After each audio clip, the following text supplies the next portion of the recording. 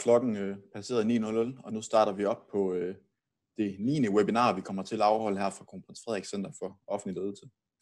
Jeg hedder Christian Nyvang Kvik, og øh, i dag har jeg fornøjelsen af at skal lave det her webinar sammen med øh, Thomas Sendejovic, der er direktør i Lægemiddelstyrelsen. Det her webinar det kommer sådan lidt i forlængelse af en række andre webinarer, vi har lavet. De sidste otte onsdage, der har jeg øh, haft fornøjelsen af at sidde og lave webinarer sammen med nogle af mine kollegaer fra Kronprins Frederik Center for Offentlig Ledelse.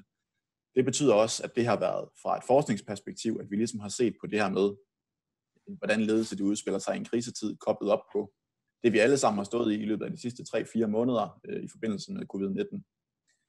I dag der skifter vi over, og så tager vi et lidt mere praksisrettet perspektiv på, øh, på coronakrisen.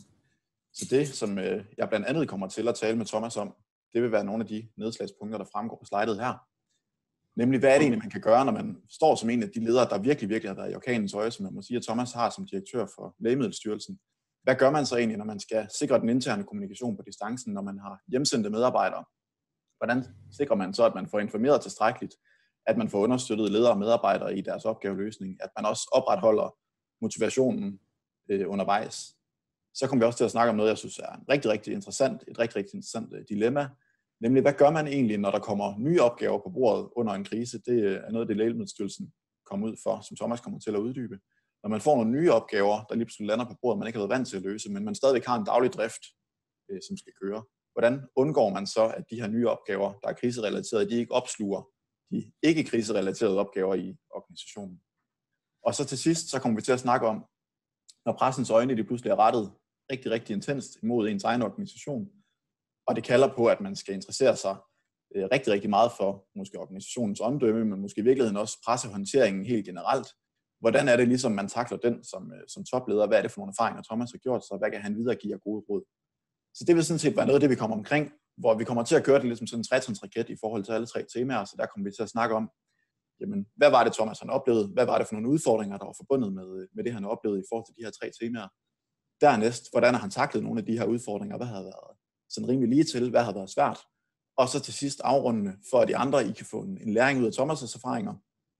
Hvad vil han øh, sige, han har lært på bagkant heraf? Er der måske noget, han vil have gjort anderledes øh, en anden gang, eller er der nogle gode råd, han kan videregive? Det bliver sådan den overordnede dagsorden for, øh, for de nedslagspunkter, vi kommer igennem i løbet af den næste halve times tid. De af jer, der har set med øh, før, I ved også, at der er mulighed for at blive inddraget undervejs. Vi vil rigtig, rigtig gerne have jeres gode perspektiver på banen, måske nogle spørgsmål, Øh, så øh, I kan bruge den her Q&A-funktion, som ligger nede i bunden af skærmen. Der er der mulighed for at stille spørgsmål til Thomas. Øh, og I andre, der ikke stiller spørgsmål, I har også mulighed for at like de spørgsmål, der kommer op. Som betyder, at de spørgsmål, der har fået flest likes, det vil også være de spørgsmål, Thomas og jeg vi griber i og kommer til at drøfte. Som det har været de andre gange, så bliver webinaret her optaget, og i morgen der vil I kunne finde det inde på centrets hjemmeside, som hedder colau.dk. Sådan med, øh, med det sagt, så tror jeg i virkeligheden lige, at jeg vil lægge øh, ordet over til dig, Thomas. Og så øh, må du meget gerne lige fortælle lidt kort om dig selv, og lidt kort om Lægemiddelstyrelsen, inden vi går ind i det mere substantielle og kommer til at snakke om nogle af de her forskellige nedslagspunkter, jeg lige har øh, skitseret her. Så vil du fortælle lidt om dig selv og øh, om den organisation, du er direktør for. Det skal jeg gøre. Godmorgen. Uh, ja, jeg hedder som sagt Thomas Anovits. Jeg er direktør her i Lægemiddelstyrelsen. Det har været siden april 2016.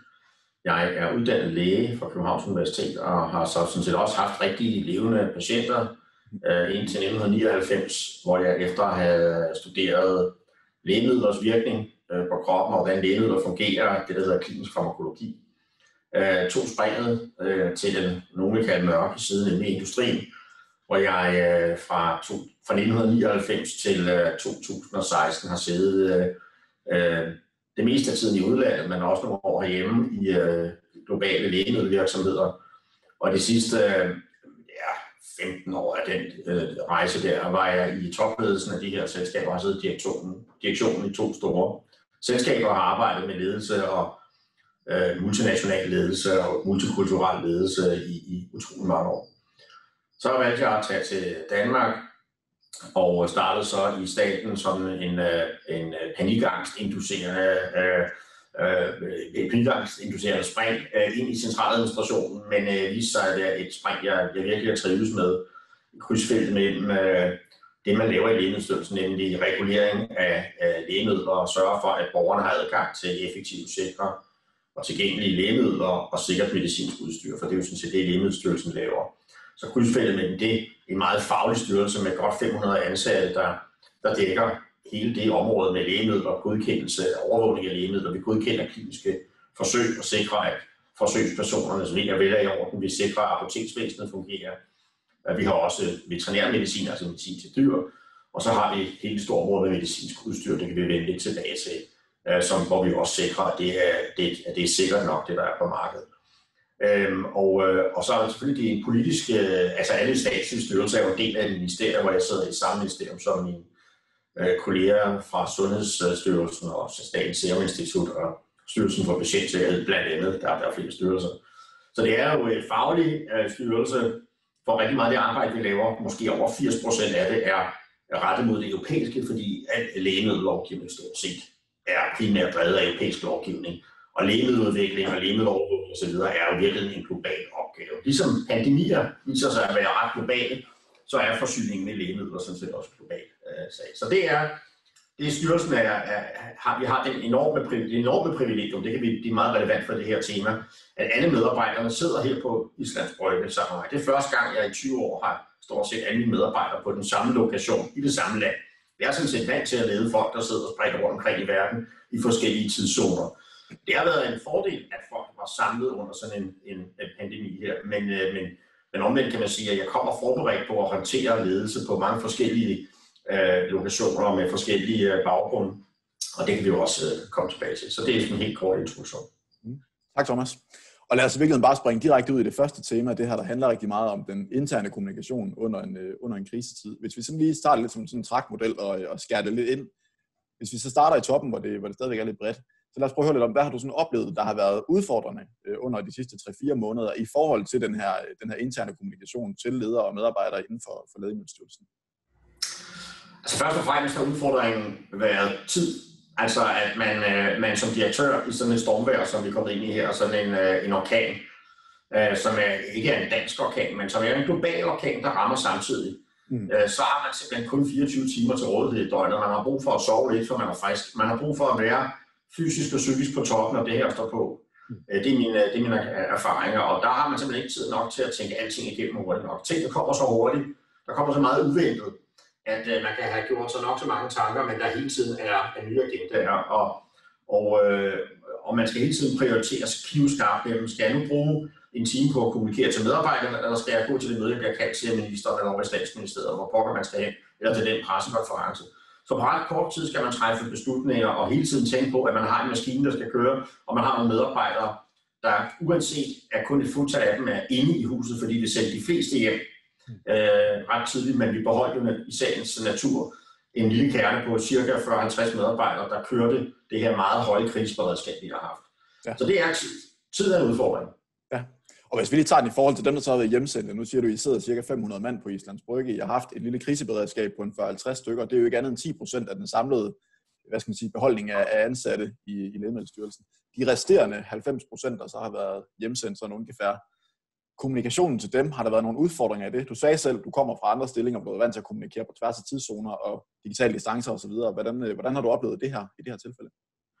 Jo, altså først og fremmest vil jeg sige, at vi jo i Lægemiddelstyrelsen i de sidste, siden jeg startede, har arbejdet meget målrettet på at skabe en, en uh, kultur, hvor man uh, forsøger at få de sidste mursten fra de gamle siloer brudt ned og arbejde på kryds og tværs. Vi har de sidste par år arbejdet mere med projektorganisation, uh, Øh, styrelsen var sådan ret gammeldags i sin kan man sige, øh, lidt siloopdelt og, og arbejdede sådan, sådan efter enheder og i, i et ret øh, vertikalt system. Det har vi arbejdet ret målrettet på. Det her har været et leapfrog, kan man sige, altså en, en, øh, en virkelig acceleration i, i en ny måde at arbejde på for mange mennesker. Det ene ting er, hvad jeg har prøvet i min tidligere liv, men det er ikke alle ledere.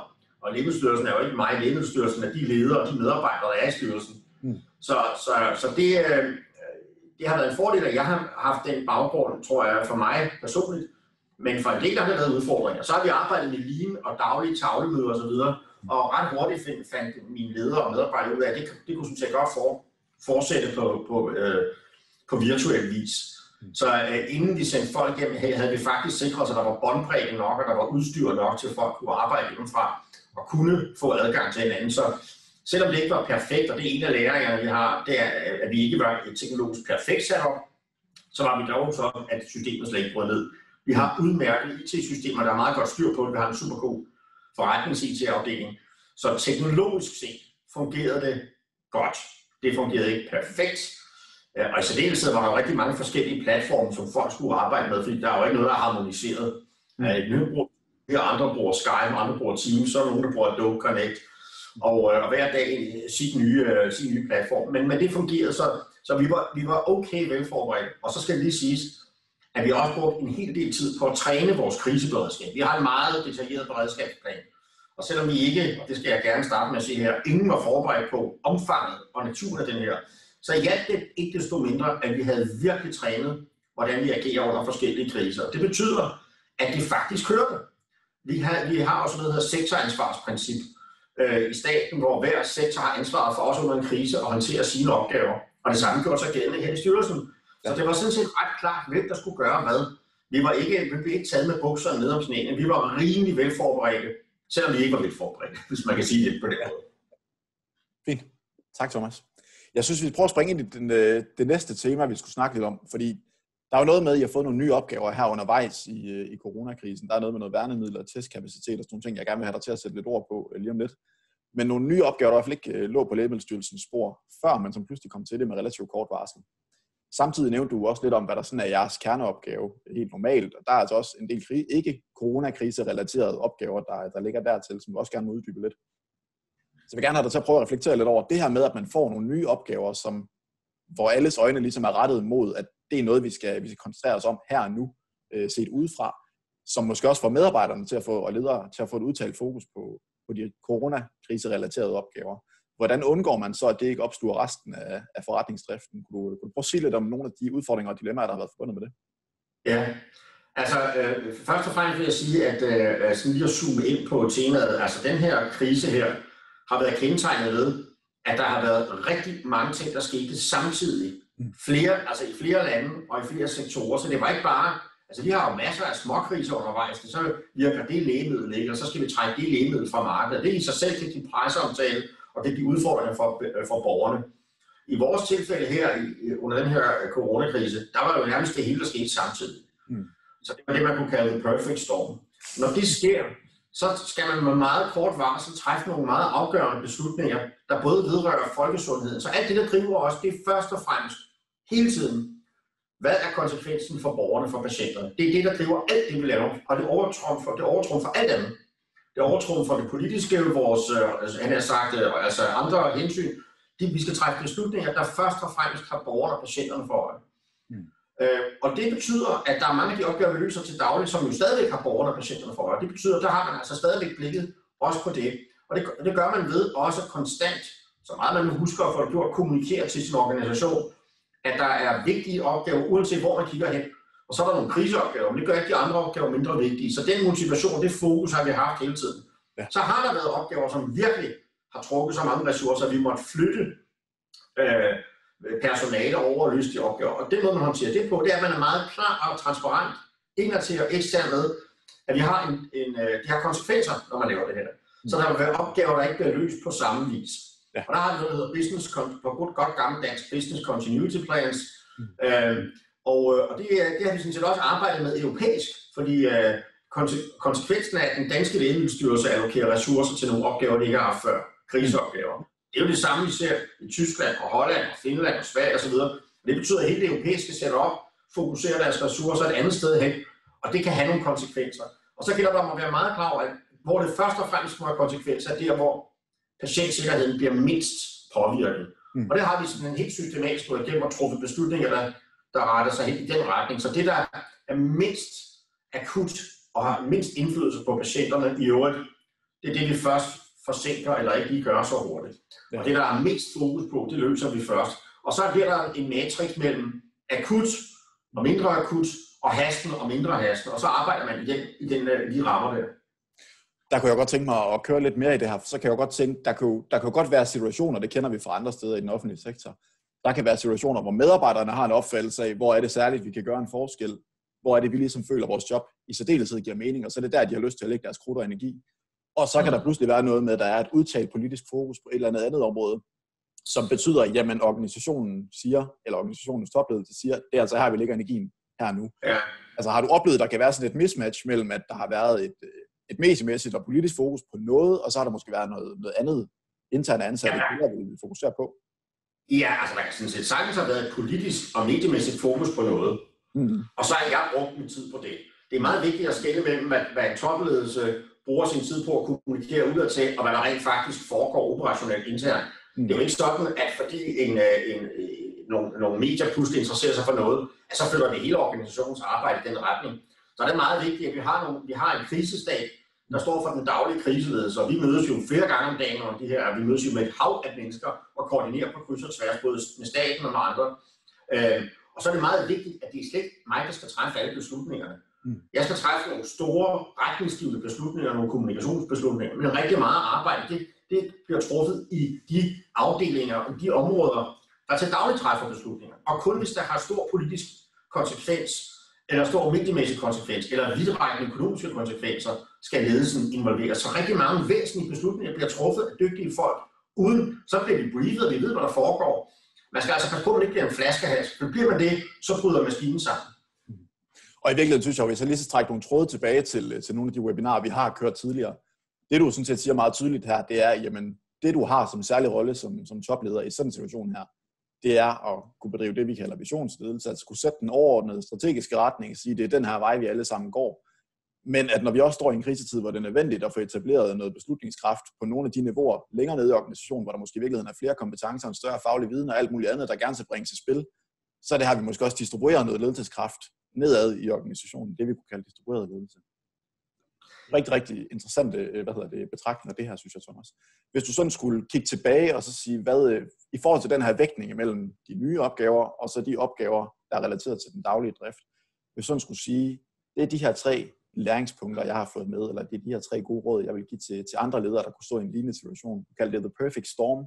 Det kunne også være i politiet, der var terrorangreb. Det kunne være, hvor man pludselig skulle stå i en lignende situation, eller alle mulige andre. Øh, det kunne være en ny pandemi. Det kunne være alt muligt, vi kunne forestille os her. Altså grundlæggende tre gode råd til ledere, der skal balancere, at der er en daglig drift, men der også er noget, der pludselig kalder på en enorm stor opmærksomhed på en krise. Ja, altså det første, det første råd, jeg vil give, det er, når man ikke er i krisen, mm. så forberede sig så meget man kan. Og det lyder, det lyder ikke, men det er det ikke. Altså forberedelse i gode øh, beredskabsplaner, mm. hvor, man, øh, hvor man tager tidligere erfaringer med, og så holde øvelser. Ja. Jo mere man har øvet i at, at stå, altså det svarer jo til, nu er jeg jo læge af uddannelse, jeg har som yngre læge været til en del hjertestop, og jeg kommer ind og skal skal håndtere hjertestop, så nytter det altså ikke noget, at man ikke ved, hvor hjertestopsvognen er, eller de forskellige roller, hvem gør hvad. Det kan man ikke begynde at stå og diskutere, når patienten ligger og er ved at dø. Mm. Der skal bare handles. Ja. Så, så være forberedt og kende rollerne. Og det bliver aldrig perfekt, men man behøver ikke tydeligt perfekte. Og, og så er det, det er det ene. Det andet er at have virkelig stærk intern kommunikation og briefing, sådan så alting kommer på bordet. Uh, gerne med grafiske oversigter, gerne med et klare agendaer, så man kommer det hele igennem. Og lynhurtigt kommer der en uoverskueligt stor antal øh, opgaver, der skal løses parallelt og samtidigt, og, og nogle er vigtigere end andre, og pressen kommer, og noget kommer ind fra højre og venstre. Mm. Så sørg for at have nogle folk, der kan hjælpe med hele tiden at følge op på opgaverne, så tingene ikke bliver glemt.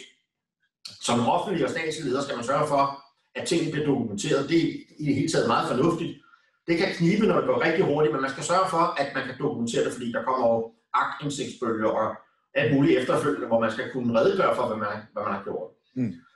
Så, så velforberedt, og sørg for, at der er styr på øh, dagens, ugens øh, opgaver.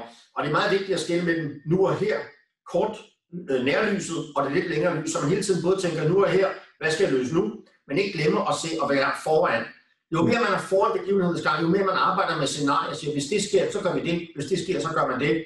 Ja, desto bedre mener jeg, at man kan være forberedt og dirigere ressourcerne derhen. Og så sørge for, at folk er så meget briefet som muligt. Man skal ikke holde på informationen. Noget af det, vi har arbejdet med, i sagens natur har været fortroligt i en periode, sådan som at man går ikke ud og kommunikerer alting i den brede offentlighed, så snart der er mistanke om for eksempel noget lægemiddelmangel, så risikerer man panik og hamstring. Men omvendt skal man balancere det, så man ikke bliver set som en lukket styrelse, så er vi over i det tredje øh, tema for i dag. Mm. Så både den interne kommunikation og kommunikation med stakeholders mm. skal være så effektiv og, og timelig som muligt. Men timelig mener, at det skal ske, altså real time. Mm. Fordi så kan folk træffe bedre beslutninger. Hvis de mangler information i mit, i mit hus, så kan de træffe de rigtige beslutninger. Så det er, sådan, det er nogle af de, op, det er nogle af de øh, gode råd, jeg, jeg, jeg har selv haft øh, glæde af, og som jeg til hver tid vil sige, at vi ikke gjorde perfekt. Og så er det sidste råd, som man skal gøre både løbende og efterfølgende, det er at give feedback undervejs. Altså tillade, at folk kan give real-time feedback. Det fungerede sgu ikke så godt i går. Det skal vi lige gøre bedre. Hvis ikke man har den åbenhed og tillid, så risikerer man at komme ind, ind i nogle beslutningsmønstre, som kan være skæbnesvar, særligt under sådan en krise her. Så der skal være, man skal have lov til som medarbejder at sige, det der, det er jeg sgu uenig i. Den der beslutning, den, er, den bekymrer mig. Jeg har ikke brug for folk, der siger ja og amen til alting. Jeg har brug for folk, der på kort tid siger, jeg siger sådan, sådan og sådan, og så kondenserer vi, og så træffer vi beslutning. Og hvis den så var forkert, så har vi brug for nogen, der tør, der tør sige, hey, det der kunne vi have gjort bedre sådan her. Så det her med virkelig at arbejde med feedback, når, når, når huset brænder, så at sige, det er altså sindssygt vigtigt helt vildt spændende betragtninger, synes jeg. Og også noget, vi kan sådan trække lidt tilbage til, til nogle mere teoretiske og forskningsmæssige perspektiver, det er. For det, du egentlig siger til at starte med, det er, lav en risikoanalyse, find ud af, hvad er worst case scenario, og hvordan håndterer vi det, Vær grundlæggende godt forberedt. Alle skal kende deres roller, og alle skal vide, hvordan vi tilgår forskellige øh, hvad skal man sige, scenarier.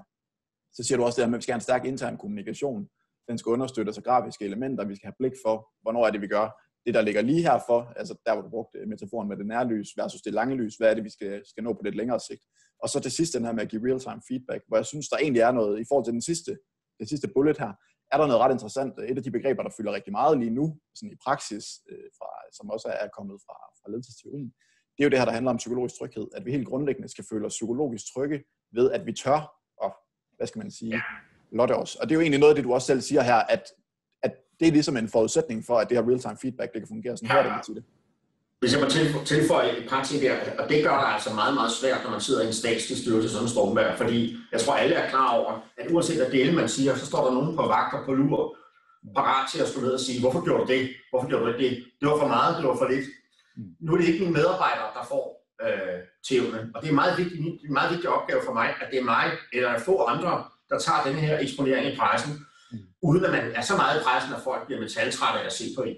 Fordi jeg skal virkelig sørge for, at der internt i styrelsen er så lidt frygt for at træffe beslutninger og begå fejl som overhovedet muligt. Ja. For vi kommer til at lave fejl. Og jeg skal være klar over, at det er mig, der danner muren mellem det, det arbejdsmiljø, hvor jeg løser opgaven for borgernes og patienternes sikkerhed så godt som jeg overhovedet kan. Og hvad der så sker versus pressen og test efterfølgende osv., det må jeg tage. Og det er meget vigtigt at gøre sig det klart, når man går ind i den her, både i dagligdagen, som det er jo sådan set vant til gennem de sidste fire år, men særligt i sådan en krise her, hvor man kan sige, uanset hvad du gør, så gør du ikke det rigtigt. Der vil altid være nogen, der synes, du gjorde for lidt eller for meget. Mm. Og det synes og, jeg virkelig. Det er sidste, jeg er nødt til at sige, det er, man skal også være parat til meget hurtigt at erkende, at, at man skal løse opgaven på en anden måde med nogle andre folk, end man troede, når man går ind til det om morgenen. Hvis det viser sig, at det her det er den bedste løsning, så drop det, du troede, der var det rigtige, og så gå i den retning, vi siger, være virkelig igen for øh, real-time omstillingsparat, altså virkelig fleksibel i sin tilgang til det.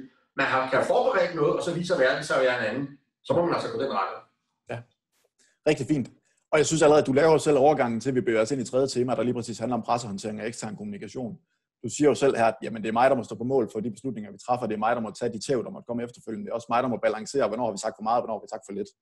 Så lad os prøve at snakke lidt videre ind i det her med, hvad er det så for nogle udfordringer, du har oplevet selv i forhold til det mediemæssige fokus, der har været. Du kan måske lige starte ud med at sige lidt om omfanget af pressehenvendelser og mediemæssig opmærksomhed, så det kunne sige lidt om, om skalaen her.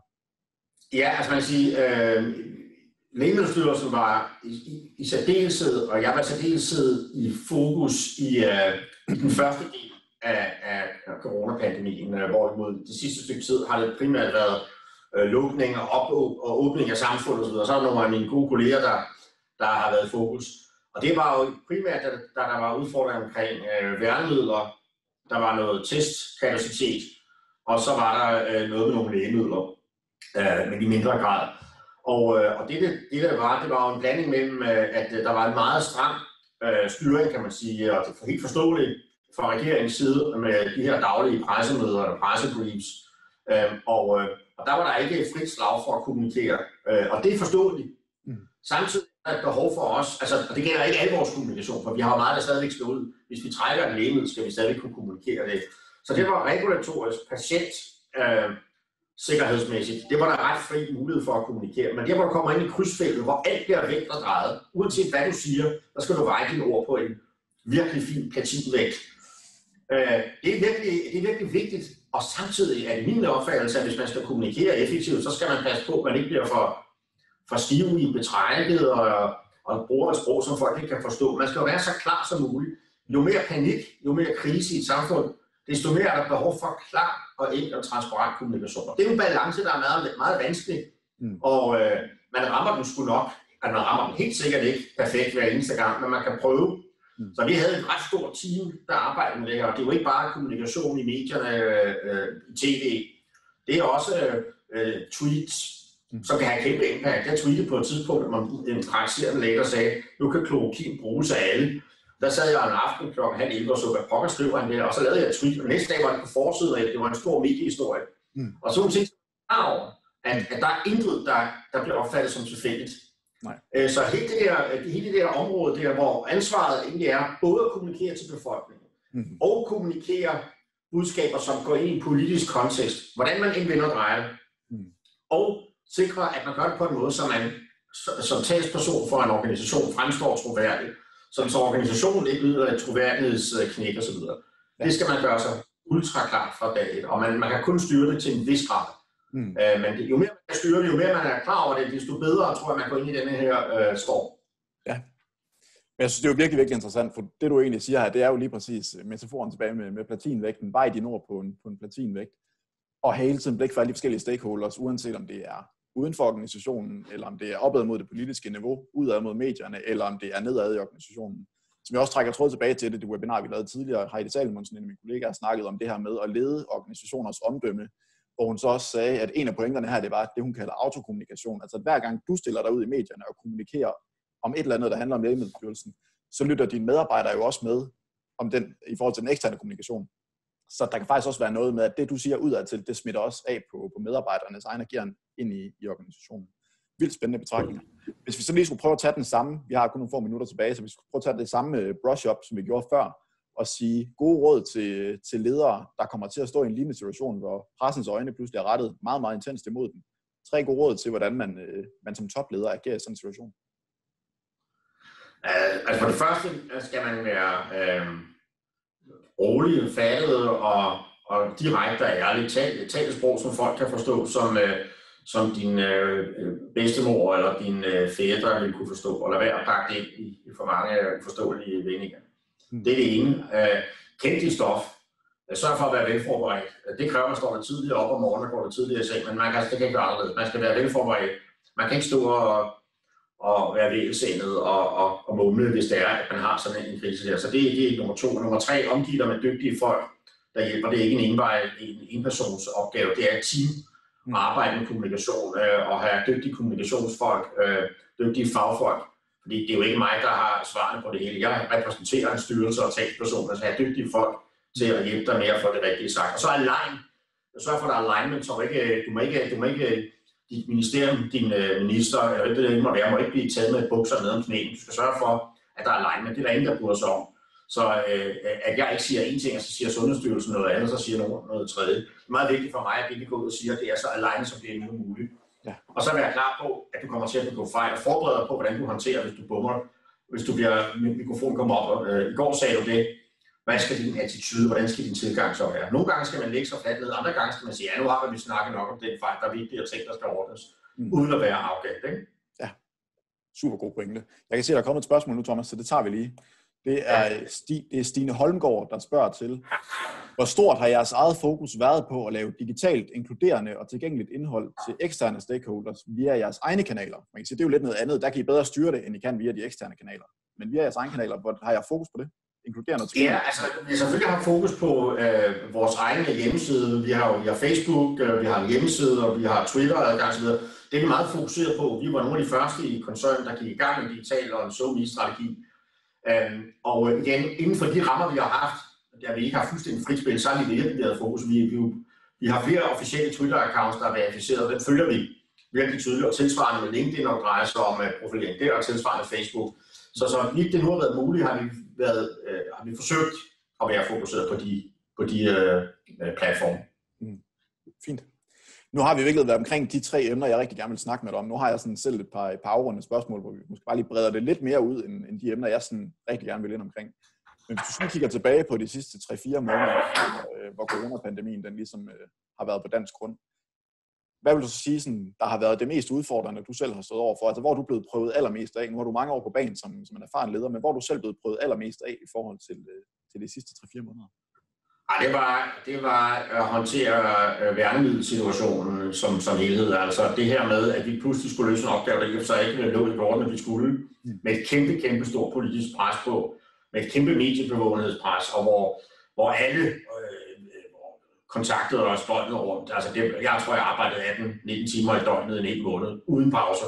Så jeg så ikke min familie, så, så det var sådan, det var sådan, skal sige, personligt meget hårdt. Og der, derudover skulle du stå og være nogenlunde frisk over for de medarbejdere, over for pressen og trække beslutninger, der, der forhåbentlig øh, passede nogenlunde og, og ikke lavede for meget ballade. Så det vil jeg sige har været, jeg tror næsten, det har været min karrieres hårdeste tid. Det var, det var den der tid der, det første måneds tid. Ikke? Mm. rigtig, rigtig spændende. Og hvis du skulle opsummere, så nu har vi talt nogle gode råd til offentlige ledere generelt, der må stå i, eller hvad hedder det, lidt mere specifikt i forhold til, til den interne kommunikation og den eksterne kommunikation, og prioriteringen mellem de nye opgaver og de, de, de ikke kriserelaterede opgaver. Hvis du sådan skulle give et tilsvarende 1, 2, 3 gode råd til, til offentlige ledere, der, der sådan her på bagkant af coronakrisen nu, hvor vi begynder at åbne organisationerne op igen, og vi begynder at nærme os en normal hverdag. Hvad vil du, hvad vil du så sige, der er det gode råd der? Så ja, mit råd, mit alt overskyggende råd vil være, nå, det kan her kunne altså ske mm. øh, i så stort et omfang. Nu skal vi dele med at styre på vores beredskabsplaner og på, hvordan vi forbereder os bedst muligt til, når det sker igen. For det kommer til at ske i en eller anden, en eller anden øh, øh, afskygning, om det så er en anden bølge eller et nyt virus eller noget tredje. Og der må man bare konstatere, der tror jeg, der er rigtig mange rundt omkring, øh, både kommuner, regioner, i stat og andre steder, og også private ledere, der, der har fået noget at tænke over, både hvordan agerer vi virtuelt, og hvordan håndterer vi vores kriseberedskab. Øh, tænk worst case scenarier og få dem øget igennem og vide, at du aldrig er helt parat, men det er bedre at være forberedt, øh, end ikke at være det. Så det er min alt overskyggende råd. Tak, Thomas. Klokken er også rundet 9.32 nu, så jeg vil skynde mig lige at tage et øh, kort brush op på, hvad vi har været igennem.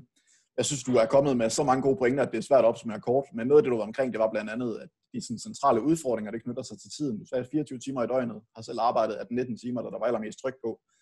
Det leder også videre til den næste, at du sagde, man kunne betragte det her som the perfect storm. Altså, det var ligesom alting, der kulminerede på én gang. Det var ikke bare bare, ligesom det har været i andre situationer med et lægemiddel, der, der måske skal trækkes tilbage, eller en anden mindre krise, man skal forholde sig til.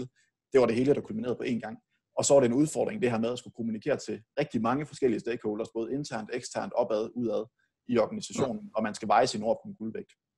Det var de tre sådan, centrale udfordringer, jeg tog med. Så var der også meget inde på, på løsningerne, og man kan sige, uanset om vi snakker intern kommunikation, ekstern kommunikation eller prioritering mellem nye opgaver og kriserelaterede opgaver, så gik det rigtig, rigtig meget på dine, øh, dine løsningsforslag, vær velforberedt. Lav en risikoanalyse af, hvad er worst case scenario. Forsøg at forberede dig bedst muligt med en beredskabs- eller kriseberedskabsplan, der, der understøtter, hvor alle kender deres roller, og vi ved, hvordan vi tilgår de forskellige worst case scenarios. Og så have hele tiden blik for det her med at give real-time feedback, hvis det er rigtig, rigtig interessant, som så også lidt videre til den næste, at det kan kun lade sig gøre, hvis vi ligesom også har etableret en psykologisk tryghed i organisationen, der gør, at vi tør blot os for hinanden og erkende vores fejl hele vejen igennem. Det var det, jeg tog med derfra. Nu øh, håber jeg også, at der er andre, der har taget mange andre gode pointer med fra, øh, fra Thomas' erfaringer og de læringer, han har kunne tage på, på bagkant af. Og så håber jeg også, at I har lyst til at se med i øh, næste uge, hvor at jeg har det sidste webinar sammen med øh, centerleder Lotte Bøge Andersen og med ledelsesambassadør for, øh, for ledelses, hvad hedder det, den, offentlige, den offentlige ledelsesambassadør Jette Runkel, som også er kommunaldirektør i Albertslund, som øh, vi har det sidste webinar med på torsdag i næste uge kl. 9. Der bliver også sendt et link ud, hvor I kan tilmelde jer til det her webinar, hvor vi kommer til at snakke om, hvordan udvikler den, øh, den offentlige ledelse sig i fremtiden her på bagkant af, af coronakrisen? Hvordan kan vi forvente, at det her det ligesom influerer på den krigstid, vi har stået i? Hvordan kan vi forvente, at det influerer på den måde, den offentlige ledelse udvikler sig på fremadrettet? Så jeg håber, I vil se med til den tid, og så vil jeg bare sige tak til dig, Thomas, for at du vil stille op til det her og dele ud af dine gode erfaringer, og tak til jer andre, der har set med, og fortsat god dag Selv tak. Hej. Hej.